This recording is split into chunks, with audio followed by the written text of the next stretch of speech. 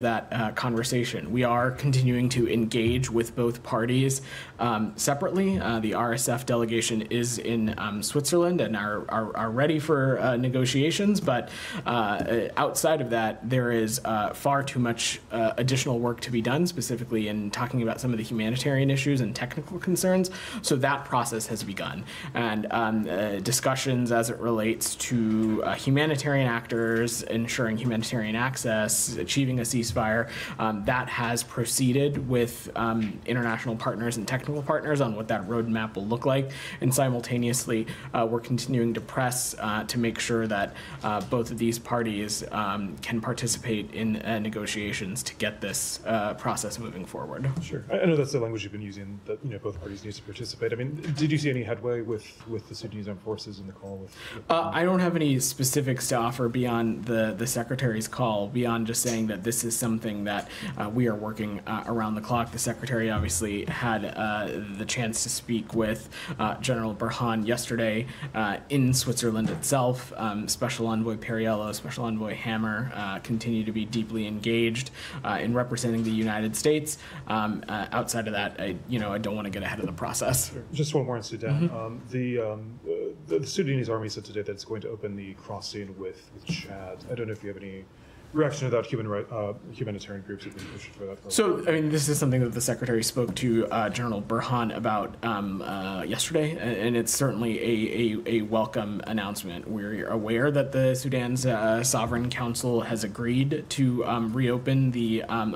border crossing with Chad uh, for humanitarian deliveries for three months. Um, we are going to continue to call on both the SAF and the RSF to facilitate um, unrestricted uh, humanitarian access through all available channels. We think that's uh, vitally necessary, and we think that specifically as it relates to that border crossing, restoring access from that point is an important step uh, in providing humanitarian aid to the many impacted Sudanese people. Sure. Um, let's go to Gaza then. I'll, I'll okay. to, my, to my colleagues as well. But uh, I know that that uh, um, Admiral Kirby over at the, the White House uh, spoke at length uh, on this today. But I wanted to ask you one of the things that he's uh, he kept saying was that this is um, the, the negotiations and the discussions in, in Doha right now are very much about implementation at this point. That the broader framework has been agreed.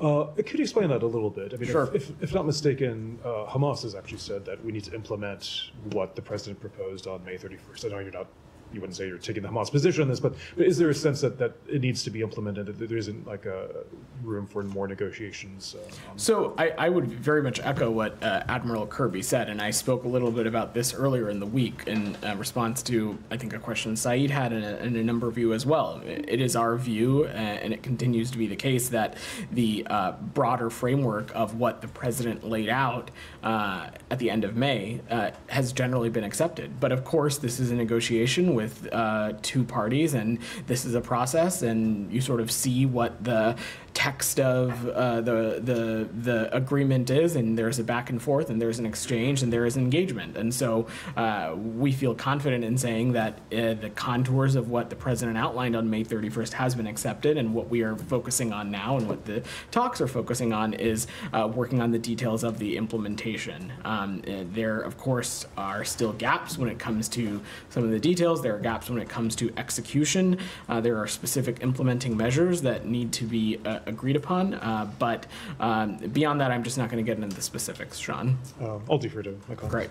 Uh, Jenny, Camilla, let's stick with the front row. Go ahead. Yeah, I mean, Kirby called this a promising start, but why? Just because they resumed talking? Is has there been more? So as I said, um, uh, look, I, I, will let the, the, the White House offer any additional um, uh, characterization to the admiral's comments, but what I would echo is that uh, this is uh, it is an important step, um, as we've said that in the lead up to this meeting, there we have already narrowed some gaps, and uh, the focus now is on some of the more specific specific implementation uh, and specific uh, issues as it relates to the agreement. There, of course, is a lot of work uh, that remains ahead. This is a complex uh, situation and a complex agreement, um, but the work is so important, and we're very uh, pleased that these this process has um, has has taken place again. Do you have a sense of how quickly these negotiations could wrap up? I, I don't want to put a timeline on it, uh, Jenny. Uh, I, I don't anticipate that coming out of the the talks that there will be a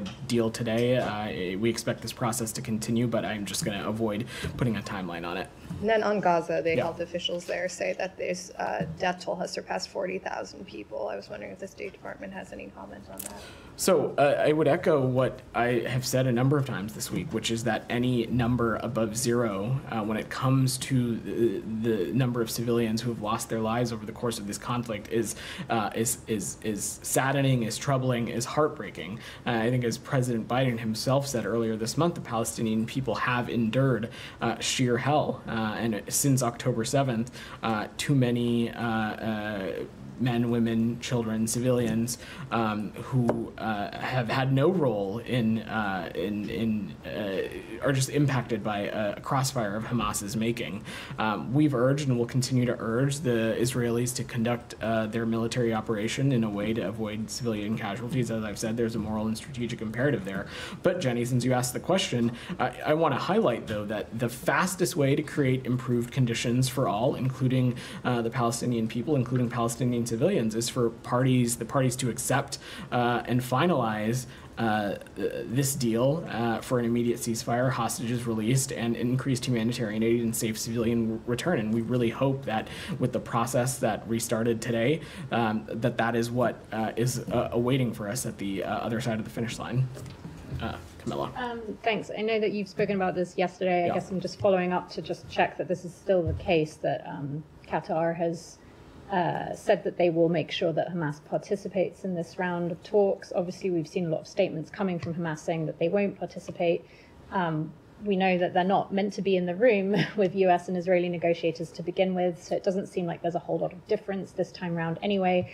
But just wanted to ask, is that assurance still there from the Qataris about today's talks are moving forward in Doha. That is uh, that process is happening, um, and there are uh, representatives on the ground there from Israel, from uh, the United States, from Qatar and Egypt, and uh, Qatar and Egypt uh, are as part of that process are mediating with Hamas. Um, and so you heard me say a number of times this this week that uh, our partners assured us that Hamas would be represented in one way, shape, or form, and they certainly would be part of the ongoing conversations, which uh, is probably necessary when we're talking about negotiations between uh, two sides. And so um, we have no doubt that uh, the current modality will be able to serve the, the purpose it's designed to.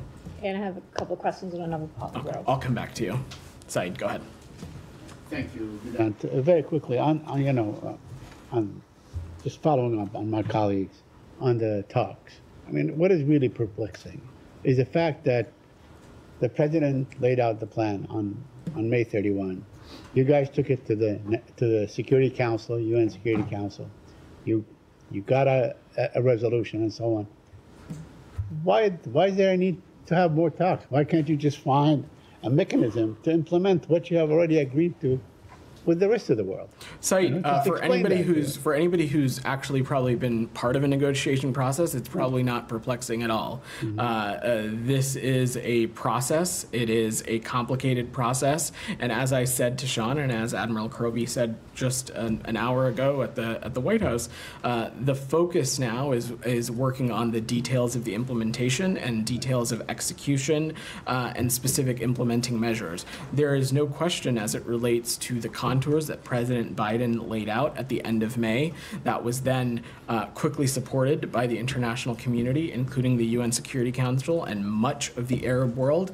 Um, and it is one uh, the the contours of the plan that was echoed last week in the trilateral statement by President Biden, uh, the Emir of Qatar, and the President of Egypt. So this is a process, and we're going to let this process play out. I'm not going to get into the specifics. You know, I mean, just logic tells me that uh, everybody will be spared the heartache if they say, okay, this is what we have now. Let's find a way to implement it. And instead of going back to square one, Instead of having. Don't think Mr. there's Netanyahu anybody going back to square one side. This is a Well, I mean, process, know and as I have said for what is probably now the, the fourth time, that this is what w- there is there is broad agreement on the contours of what President Biden laid out at the end of May. What we are talking about now is some specific details, some specific implementing factors. There are of course still gaps and things that need to be bridged in that space, but when we're talking about the uh, overall framework, that has been generally accepted, and that continues to be the case. Oh, well, the point, uh, I mean, I know what you said yesterday about uh, uh, whatever is attributed to Mr. Netanyahu is basically allegation, alleged. You know, you said alleged. In fact, it was the, the title of my article about uh, what you said. But the Israelis, you know, different Israeli sources, different Israeli media, and so on, they insist that Mr. Netanyahu want to renegotiate the Philadelphia crossing. Mr. Netanyahu want to negotiate the Netzarim crossing. He want to insist on a system that is almost, you know, impossible to, if, uh, to, to vet, you know, whoever goes uh, to no, the north and so on. He's saying basically, you know, it's like an impossible situation to arrive at. Saeed, Now, I I- know you said that it was alleged, but it seems that Mr. Netanyahu insists on these restrictions. So I, I know um, uh, you all have a have a have a job uh, to to focus on these things, but I, I try not to spend a lot of time worrying about um, unnamed sources and uh, uh, documents that may or may not have veracity. What we're focused on is uh, playing a constructive role in the talks that uh, began today, and beyond that, I'm just not going to get into the specifics of the ongoing process. A couple more questions on the, you know, on the West Bank. You know, it's there's been a settlement in a UNESCO site and so on. I wonder if you're aware of the report and if you have any comment on that. I've seen those reports, uh, Saeed, and uh, again, the, this administration has spoken out um, against in- Israeli actions that undermine territorial continuity for a future Palestinian state. Something like this would certainly uh, be that. Every single one of these new settlements would impede Palestinian economic development and freedom of movement and undermine the feasibility of a two state solution. Uh, simultaneously, Said, what we have said uh, a number of times uh, continues to be the case, which is that the Israeli government settlement program, uh, we find that to be inconsistent with international law, and we certainly oppose the advancement of settlements in the West Bank, and this uh, uh, would certainly be an example of that. If you indulge me one more, uh, Vedant, you know, just to follow up on what Jennifer Yeah. mentioned about crossing the 40,000 uh, mark. I mean, this is more than 10 to 1 as far as the, how mean, you know, all lost life is precious and so on. But now we have at least 10 to 1 Palestinians that have died. When will enough be enough? Because I know you say, you know, one more, we don't want to see it, but the fact of the matter is that you've been saying this since last December, you know, and we have killing every single day. Every single day, no 24 hour goes by without killing at least 36, 40, 50 Palestinians, most of them children. So, I mean, when will enough be enough? Said, what we are exactly focusing on is uh, trying to have a resolution that would allow the fighting to stop. That's why we have time and time again, and again just a moment ago, I said that the best thing uh, for the parties to do to minimize impact on all, including the Palestinian civilians, is to accept uh, and finalize a ceasefire deal, one that is encompassing of uh, the hostages being returned, an influx of humanitarian aid, and um, broader diplomacy to happen for the region to get out of this endless cycle of violence. Tom, go ahead. on Yeah. the, the settlement announcement that uh, Minister Smotrich made yesterday. Do you think your opposition to it will stop this settlement being built? That is not uh, really for, for me to speak to, Tom. These are obviously uh, unilateral Israeli actions, and when it comes to uh, uh, the United States, not only have we had uh, made our perspective and our point of view on this incredibly clear, how it is a detraction from Israel's security, how it takes us away from uh, a two-state solution, but we also continue to have tools in our tool belt to um, hold to account um, individuals um, who we may think be uh, contributing to greater insecurity in, in the West Bank. Uh, I'm not going to speculate on that from here, though. I mean, that's a separate point, but this is a government announced settlement. This isn't an outpost. So, I mean, it's the same question, really. If you oppose it, I don't quite see why you can't stop it. I'm, I'm sorry, I don't really follow, Tom. I mean, you've opposed hundreds of uh, settlement announcements, and they, they are all then built. So, what's the point of repeatedly saying you oppose them? it is important for us to make clear our perspective and our point of view, as well as to uh, raise these sometimes tough and difficult conversations with our Israeli partners, and we'll continue to do so. But doesn't it? I mean, doesn't it just expose the weakness of your position in that you can say something and say it's your policy, but clearly it doesn't have any effects on the ground? Uh, I would uh, take issue with that characterization, uh, Tom. These are not uh, actions that the United States is uh, party to, certainly not ones that we are involved in. Uh, ultimately, um, uh, uh, Israel is a, a sovereign country that's going to make its own decisions. That does not detract or change from the fact that when we see things, when we see policy decisions, when we see actions that we disagree with, that we think are not just in the interest in the United States, but also not in the interest for, of the region, we won't hesitate to say so it is not dissimilar from circumstances in other countries in which the United States is not party to those decisions. But when we see something we disagree with, we certainly will make our voices heard, and that continues to be the case here. Uh, I will also say that the the bigger issue here, Tom, is that we want to see th- these kinds of things end, and that is why we're so committed to uh, getting to a two-state solution because we think that is the only path forward for the region. And when we see things like this that are inconsistent with that, we won't hesitate to say so. Well, you want to see a two-state solution, but I mean, Smotrich himself said in announcing the settlement, "We'll continue to fight the dangerous idea of a Palestinian state and establish facts on the ground. This is my life's mission, and I will continue it as much as I can." So that's what you're up against when you're saying you oppose the building of these settlements. Clearly, this will go ahead, and it will not just go ahead, but it will go ahead um, in occupied territory where you are arming the military force which will facilitate its establishment. So you're saying you oppose it, but you're arming the military force that facilitates its establishment. We have a security relationship with the IDF, Tom. I don't dispute that. That uh, that of Okay, course how then is continues to be the case. How is building a settlement about self-defense of Green Line sovereign Israel? We don't think it is, Tom. We we do not think that the expansion of the settlement program is in Israel's security interest. We think it detracts from a two-state solution and causes further instability and insecurity. I've said these things a number of times. The point that I'm making is that these are not actions that the United States is party to. Can I just follow Yeah, go ahead. Again, we asked, I asked about Ben Gvir and what he's done on the Temple Mount, and um, to Tom's question, you know, you mentioned tools and the U.S. toolkit.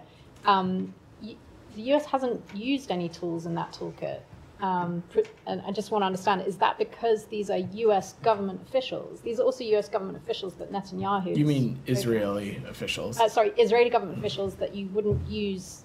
You know, are you, is that because you can't use U.S. So Camilla, I would never, uh, I would never preview um, actions um, from up here that would uh, be inappropriate, not But I only just in bring the it up because context. you mentioned the toolkit. Of course, uh, not of course not in uh, n- not just in the context of Israel, but in any country. I wouldn't uh, as it wouldn't preview actions from up here. Look, um, uh, when it comes to there are uh, across the world when it comes to governments uh, that we engage with, whether they be partners, allies, or countries that we have adversarial relationships with, there are uh, uh, colorful characters uh, in any government. What the United States is focused on is the policy uh, and the policy decisions that uh, they pursue and the United States pursue, and particularly one when it comes to attempting to subjugate or change the status quo at Temple Mount, Haram al Sharif. We would take issue with that, and expansions of a settlement program, we would take issue with that. We find both of these things to be a detraction of Israel's security and fuel uh, more insecurity and instability in the region. Uh, and we'll raise these and continue to have these very tough conversations. In terms of what actions we can take, Camilla, I'm not going to um, preview or speculate from up here. Okay, but it's fair to say that there haven't been any actions taken other than condemning it verbally. When it comes to uh, officials within the government, sure, that uh, can be a fair assessment to take.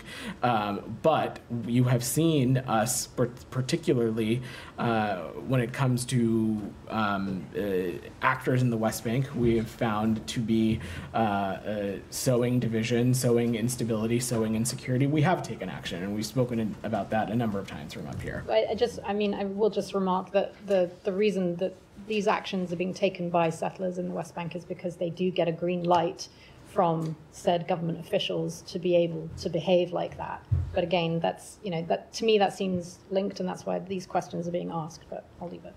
Right. Alex, go ahead. Thank you, Ben. A couple of questions. Can you discuss anything about Ksenia Karelina's sentencing in Russia for exercising her, her First uh, amendment right in, in on U.S. soil and any involvement from the U.S. embassy? Are you uh, willing to impose any measures? So, um, Alex, uh, uh, there is probably a limit to what I can say here, given uh, privacy concerns. Uh, we are uh, continue to be aware of reports of a, a American citizen, a dual national American citizen, um, that had a uh, sentencing today in Russia. For privacy reasons, I'm not really in a place to get further, but I just want to be incredibly clear about something.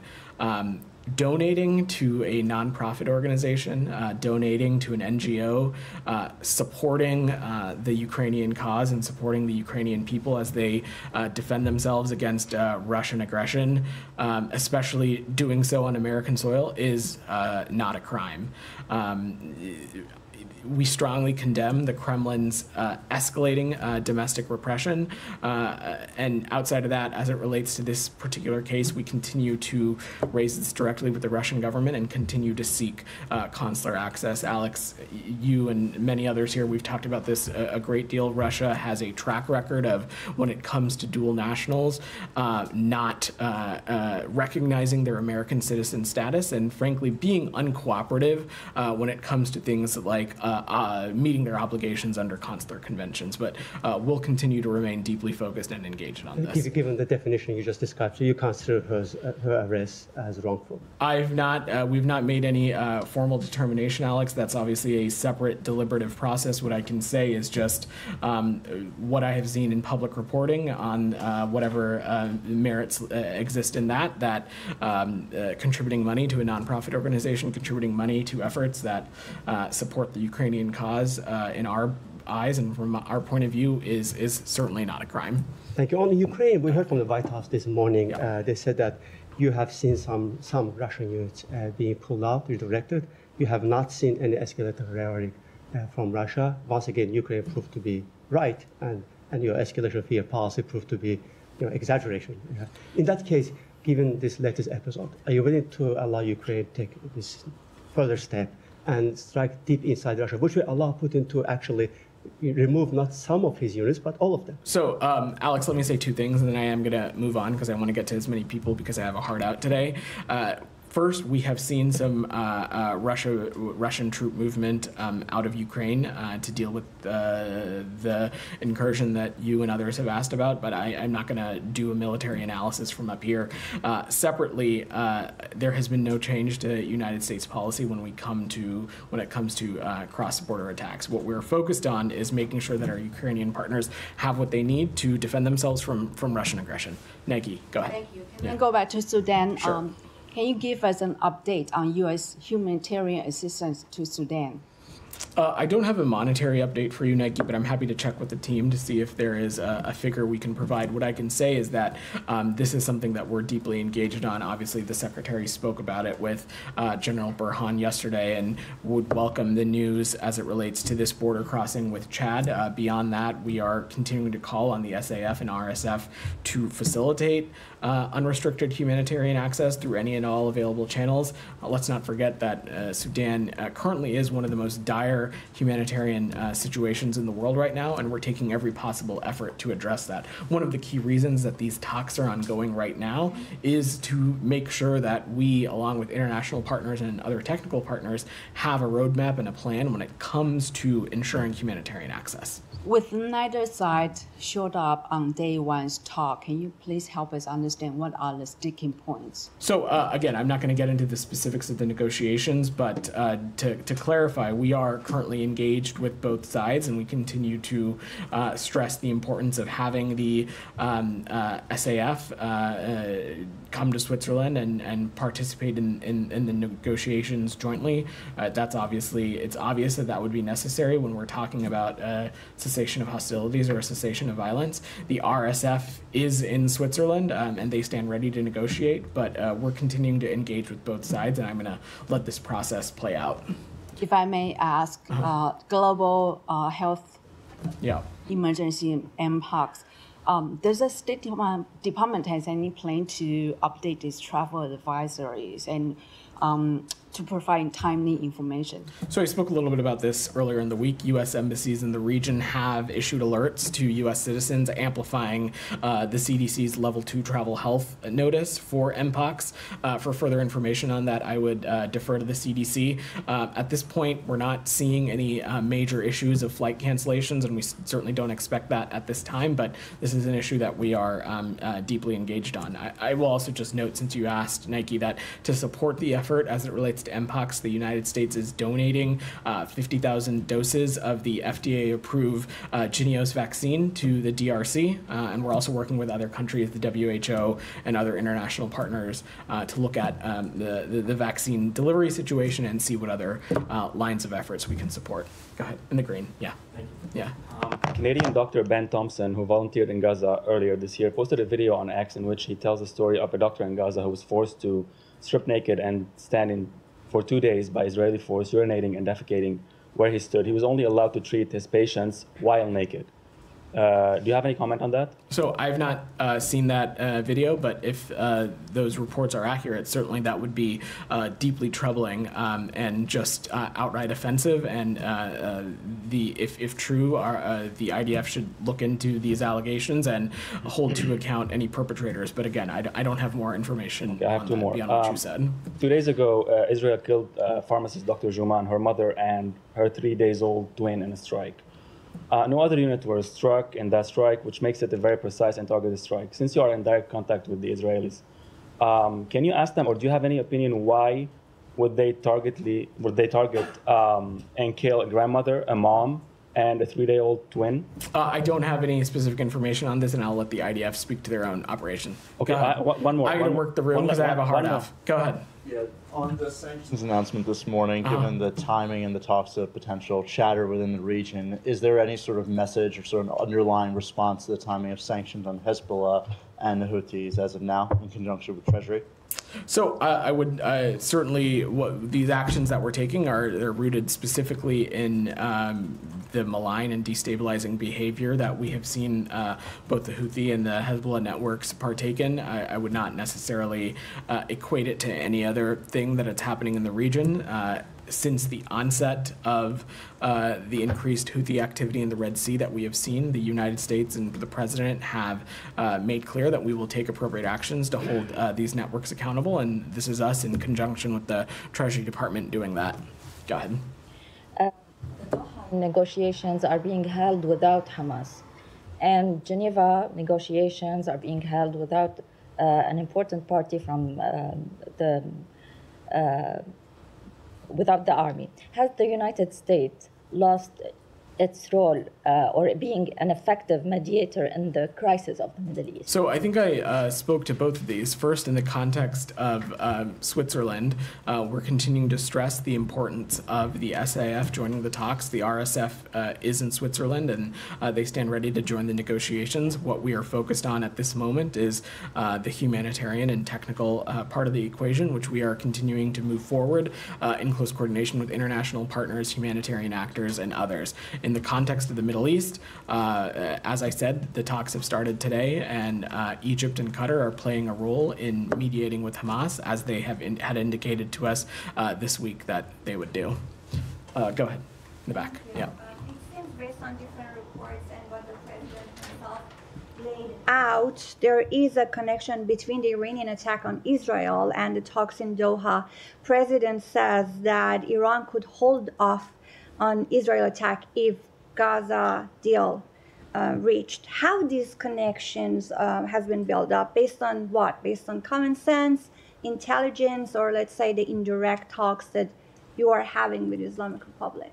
So I'm just not going to speculate at all. Again, uh, you've said me and Admiral Kirby have said this numerous times this week. I'm not going to speculate on a potential uh, Iranian response.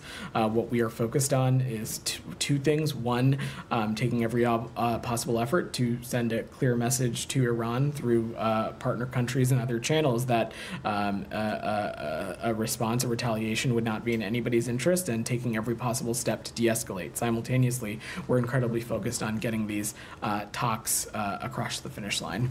In the pink, go ahead. Yeah. You.